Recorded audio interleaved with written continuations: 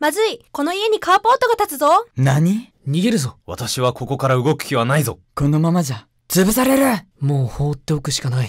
排水管。ん？潰されてない。どうして？それはニュースタイルアジストだから。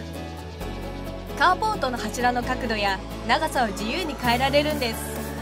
よかったね。なんとかなって。三強アルミ、